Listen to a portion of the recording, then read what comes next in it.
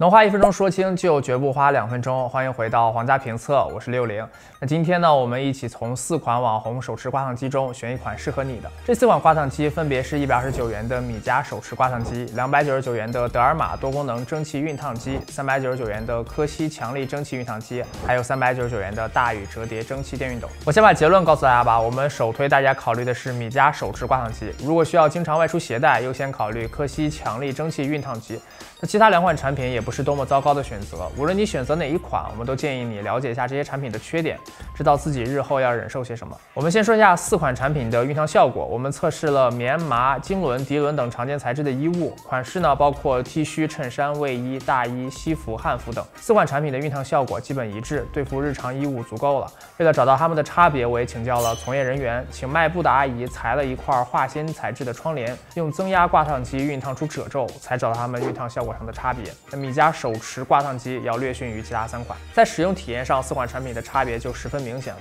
我们挨个说一下它们的优缺点。德尔玛这款在握持上是最轻便的，收纳起来呢也是最整洁的，但是它预热结束后就直接开始喷蒸汽了。其他三款在预热时都有底座可以放置，预热结束后再操作才会喷出蒸汽。而德尔玛这款，官方提醒你预热时不能把它放在底座上，如果你把它放在一边预热，它预热结束后直接喷蒸汽又会有些危险，所以预热时你就只能拿着它等着。虽然它的预热时间并不是最长的，但是它会完全占用你的这段时间，在这方面的体验是最差的。它的水箱也相对较小，所以没有获得我们的推荐。大宇这款设计很独特，面板也是最大的，但是也是因为这样的设计，让它在操作时有点头重脚轻，握持感上是最重的。其他三款使用时能很方便的观察到水箱剩余多少水，而大宇这款呢就稍有不便，再加上它的水箱比较小，出蒸汽的稳定性较差。我们用四台机器的最大水位来观察它们蒸汽的持续情况，大宇这款在五十八秒左右蒸汽就基本上断了。我们为此又买了一台，结果还是一样。使用时我经常感觉到它不出蒸汽了，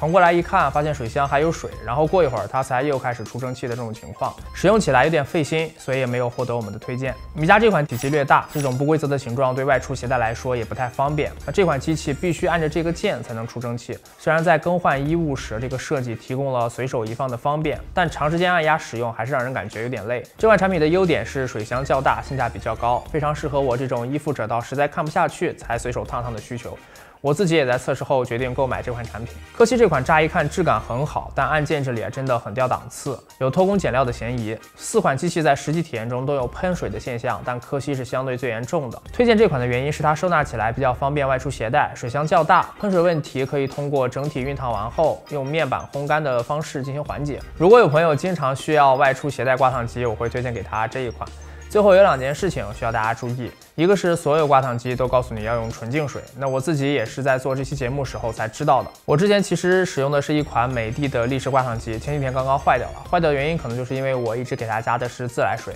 水中的杂质堵塞管道，减小了产品的使用寿命。第二是，你可以通过衣服上的水洗标志来判断这件衣服是否可以熨烫。如果它有这个标志啊，就说明它能够进行熨烫。水洗标标志种类太多了，我们也整理了一份非常简单，教大家判断这些标志是什么意思的方法，请大家截图保存。如果本期视频对你有帮助的话，请帮我们点赞、投币、收藏、转发。在双十二前，我们也希望能尽力的多给大家出内容。目前投影机的横屏已经在制作当中了，希望大家能把双十二你想购买的产品品类打在留言或者是弹幕上，我们也会尽量选择大家更关注的品类进行评测。请大家记得关注我们皇家评测，这里有帮专业、有趣、认真的小伙伴，致力于用最硬核的态度做最有料的评测。那点一下关注吧，拜托了，我们下期见。